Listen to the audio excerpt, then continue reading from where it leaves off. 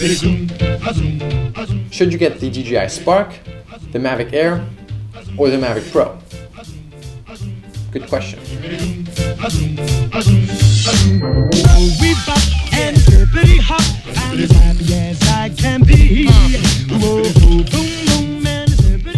everyone, welcome back to TechByte. I've got yet another drone video for you today and I know I've had quite a few of these recently, but rest assured I am not turning this channel into a pure drone channel. It's just that some pretty exciting stuff has been happening recently.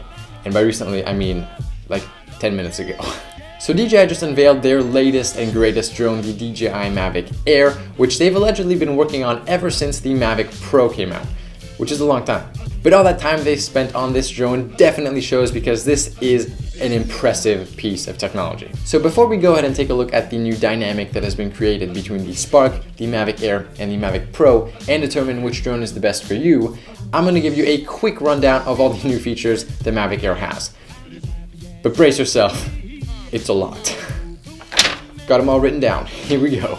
The DJI Mavic Air features a completely redesigned and super aerodynamic body, a redesigned 3-axis gimbal and gimbal casing which will dramatically reduce the amount of vibration that the camera experiences, a camera capable of shooting at 4K and 30 frames per second or 120 frames per second still in full HD, sporting a 1 over 2.3 inch sensor with a 24mm f2.8 lens, 7 cameras for forward, downward, and backwards obstacle avoidance, 2.5 miles or 4 kilometers of range thanks to its omnidirectional antennas that are embedded inside of the landing gear.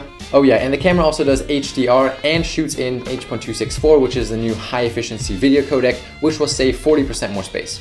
The Mavic Air has 21 minutes of flight time, 8 gigabytes of internal storage, which will be great if you forget your SD cards, a USB-C port, and is half the size of the Mavic and 40% lighter. This thing is tiny, seriously. I mean, this guy had not one, not two, but three of them on him when he walked on stage.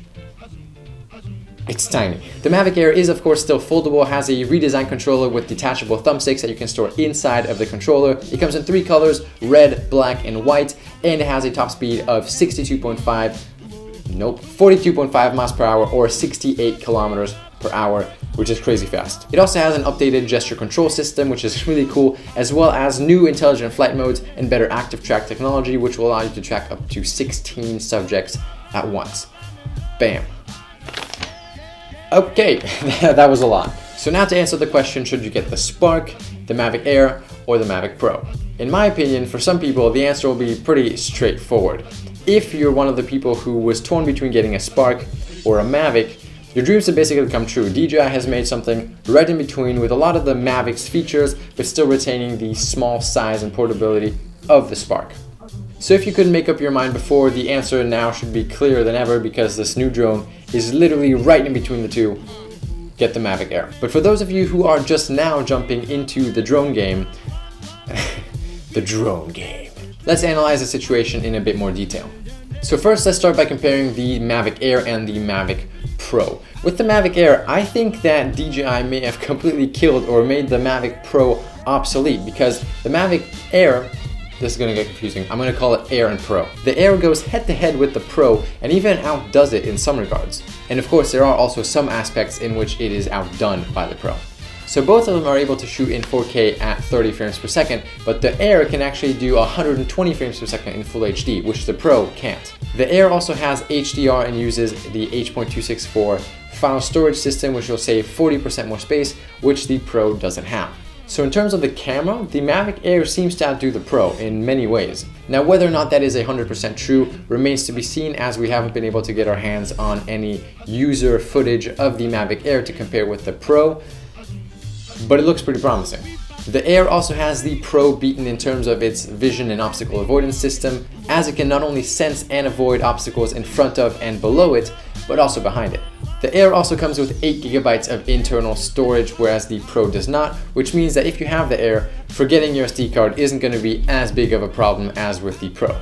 You'll also be able to get your files off of the Air much faster than the Pro because the Air uses USB-C, which is faster. In terms of size, it is half that of the Mavic Pro and weighs 40% less, which means that it's going to be a lot more portable, but also more prone to getting carried around a bit by the wind. Now the Pro still has the air beaten in terms of flight time. You'll be able to get about 21 minutes of flight time out of the air, whereas you can get up to 30 from the Pro. The range of the Pro also far outdoes that of the Air, coming in at 4 miles instead of 2.5 or 7 kilometers instead of 4. And that's mainly because the Pro uses a technology called OcuSync, whereas the Air just operates on Wi-Fi that gets boosted. Quick side note, I just made a video about the problem that most DJI drones will have if you're flying outside of the US. It has to do with range. If you want to go check that out, click the, the thing up there or the link in the description. The only thing we can't say for sure yet is how good the 3-axis gimbal will be on the Air because we haven't been able to use it yet. So between the Mavic Pro and the Mavic Air, you're probably going to want to lean more towards the Mavic Air side unless you're really keen on those 7 kilometers or 4 miles of range, the increased flight time, and the increased stability in winds. But overall, the Mavic Air really does seem to do everything the Pro does and more. And it's cheaper. The Mavic Pro is still a really awesome and capable drone, but it is now just going to be for a more select group of people who really want that extra range, the extra flight time, and the increased stability. For the average person though, the Mavic Air is the new star of the show and is definitely the one you'll want to go with. Alright, so now before we wrap up, let's quickly take a look at the difference between the Spark and the Mavic Air. While I'm not 100% sure, I think that the Mavic Air in its folded state is actually even smaller than the Spark, just because you can't fold the wings. So the difference between the Spark and the Mavic Air is the type of person who's going to be using it. The Spark is still really just that small drone that you can toss in your backpack and you can charge with a power bank and just use to take pictures of your family, your friends while on vacation, and just quickly get the drone in the air, get a shot, and come back down. The 10 minute battery life which I've been able to get out of it also reinforces that statement as you really won't have much time to do anything more complex than just take a couple quick pictures or videos. Now it is possible to get cinematic on this but you just don't have as much time and it's much harder.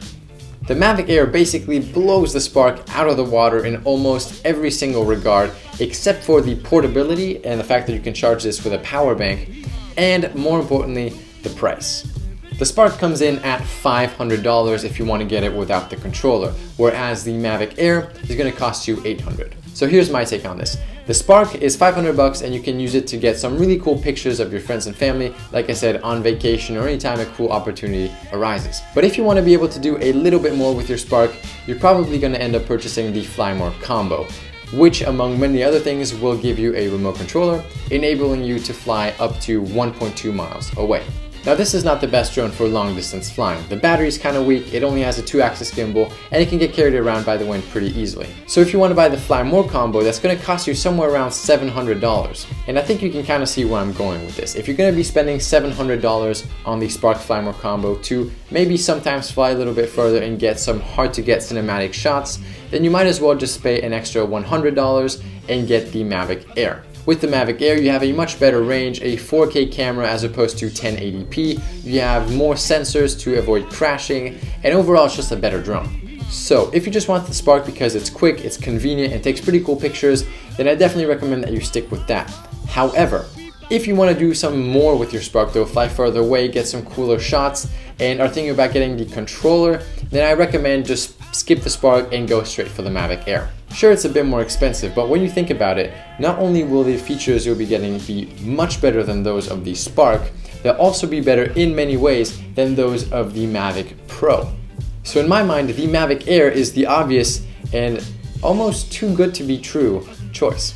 So just to recap, the groups of people who the Spark and the Mavic Pro are for have now significantly shrunk as the DJI Mavic Air has taken a significant chunk out of both of them because it just offers the best of both worlds. If you want to fly further and for longer, get the Mavic Pro. If you want quick and easy, cool looking pictures, get the Spark. And if you want anything in between, I say get the Mavic Air as it really does seem to be the new king of the drones. So that's gonna wrap it up for this video. I hope you enjoyed. I hope you got some useful information out of it. If you did, why not click that like button? It helps out a bunch. Also, if you think I've earned it, consider subscribing as that would really mean a lot.